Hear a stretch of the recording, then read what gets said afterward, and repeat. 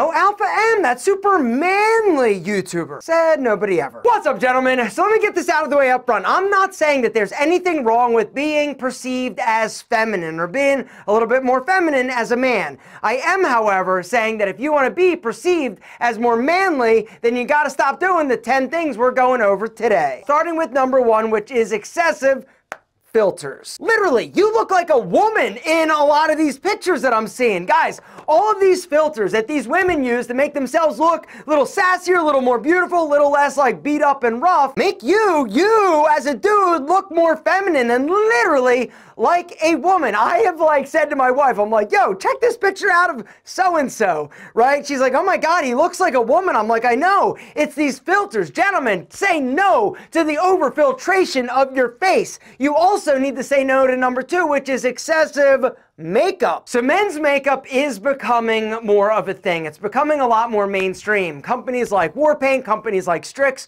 are making makeup for men. This is actually a concealer like tool pen thing from the company Stryx, right? It looks kind of masculine. And generally speaking, what this is used for is like just like covering up like blemishes or like dark circles. Now, I feel like there's a fine line between covering up blemishes and dark circles and looking like you're wearing makeup. The third thing that makes men look more feminine is longer hair. Now, I'm not saying not to grow your hair out, but if you are somebody that wants to look more manly or masculine, just understand that as you let your hair grow, it's going to soften everything. And generally speaking, men with longer hair are perceived as more feminine than men with shorter cuts. Speaking of cuts, what do you think of this shirt, right? it's a Henley. I got it from Cuts. It was their fall drop, guys. Sick, amazing. If you guys haven't checked out Cuts, now is the time time because right now they're having their five year anniversary sale. 25% off site wide. A little bit more about them in a second. Number four is how you are sitting. Guys, this is a feminine way of sitting. Now, is it comfortable? Sure. Do I sit like this occasionally? Yes. But if you want to be perceived as more masculine, you need to actually spread a little bit. Man spread, right? The whole idea is to take up space. As men, when we actually sit and we are occupying more space, this is seen as a more dominant position, also more dominant body language. But if you're somebody that is sitting very small, this is something that typically women will do more than men. Knees, together, gentlemen. This is the appropriate way that a lady sits, right? Nice and nice and proper. Because her mom's told her, yo, Brenda, if you sit there like the dudes, they're gonna be able to see that you're not wearing any panties underneath your skirt. Oh yeah, Brenda? what a vixen. Anyway, speaking of body language, we gotta talk about number five, which is a handshake, as in a man shake. I cannot stress to you the importance of developing an incredible handshake, one that is firm, not too aggressive, but not like super soft and like wimpy. Now, a little handshake pro tip. What I'd recommend is practice, whether or not it's with your dad, your mom, your boy, your weird uncle Barry. Yes, like actually, not Barry. I, I I know where those hands have been. Oh, mama. Practice. Practice shaking hands with a friend or a family member so that you get in the habit of shaking hands like a man. The sixth thing that if you own and are rocking, you're definitely looking feminine, and that is big, baggy clothing or shirts. Big, baggy, oversized clothing makes you look more feminine. And the reason is pretty simple. Because it makes you look small, it makes you look more dainty, as opposed to wearing something that actually fits you properly and looks incredible, showing off the fact that you've got a man masculine body. It's all about creating that visual V, guys. Shoulders broad, down, tapering to your waist. And that is one of the reasons why I love the clothing brand Cuts so much. Their clothing, their cut, their silhouette is not only super clean and sexy, it is incredibly masculine, all right? These Henleys are perfection. Check it out. Here's another perfect example, right? The ba basic white t-shirt that I just built and got from Cuts, right? I went with a crew neck, short sleeve, and look how perfect these sleeves are, right? As opposed to off the rack boxy t-shirts, these sleeves are perfect, all right? They're gonna expose a little bit of tricep, making your arms look more masculine, more manly, and bigger, honestly, all right? And then the fit, right? Nice and snug through the chest and the shoulders, making my shoulders appear broad, and then it tapers down to my waist. Literally is a perfect t-shirt, right? Now, the thing that you're gonna notice with cuts, and the reason why I love them so much, you get to basically like build your specific shirt, right? You get to pick the collar, the sleeve length, and also the hem. You've got a few different options to choose from, but right now, like I mentioned earlier in the video, they're having their five-year anniversary sale. It is for a limited time, and you're gonna get 25% off site-wide. Guys, this sale is the biggest sale I've ever seen Cuts have, and it is site-wide.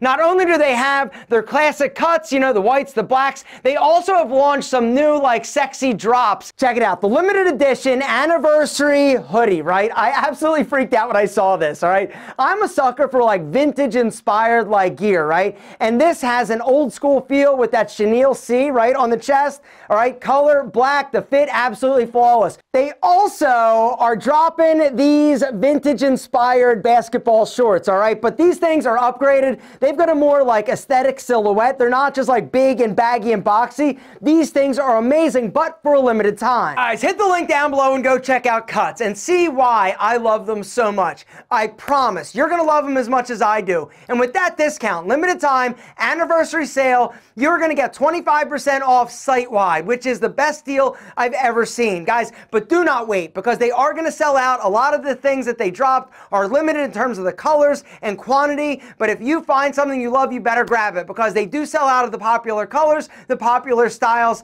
and sizes. Guys, hit the link down below. Check out Cuts. These shirts are amazing, perfect, and for 25% off, it is a huge style no-brainer. The seventh thing that makes guys look feminine is over manscaping or grooming, all right? Now, what I'm talking about is your body hair, right?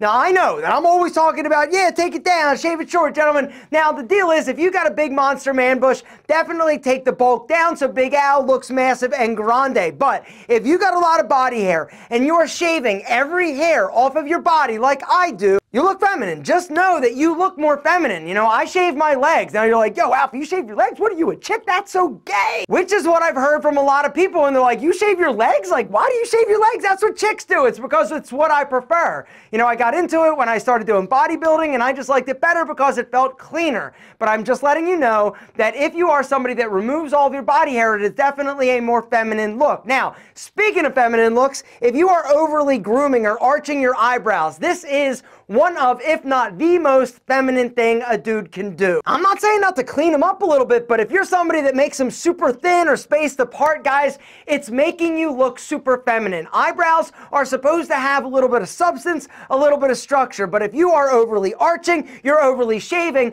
making them too thin, it definitely makes you look like a chick. Since we're talking about facial hair, let's talk about facial features, which is the next thing that makes men look more feminine, and that is having very petite or small facial features like nose and lips. Men with small, petite facial features, generally speaking, will look a little bit more feminine. Also, if you've got small, little tiny hands or small, tiny little feet, this also makes you look a little bit more feminine. Now, things that you can do is grow some facial hair to help balance and counteract the fact that you may have a small mouth or a small nose. Something else you can do is wear a pair of frames with a little structure, a little substance. Wearing too many rings also is a more feminine look in my opinion. Wearing a ton of bracelets, a ton of chains, a ton of necklaces. Basically, a lot of accessories is going to make you look a little bit more feminine. Now, there's certain guys that pull it off that look amazing, but these guys are men among men, and they don't give a shit what you think. And they probably could steal your girl because they're bad boys. Right now, here's the deal. The one thing I got to talk about, number 10, is actually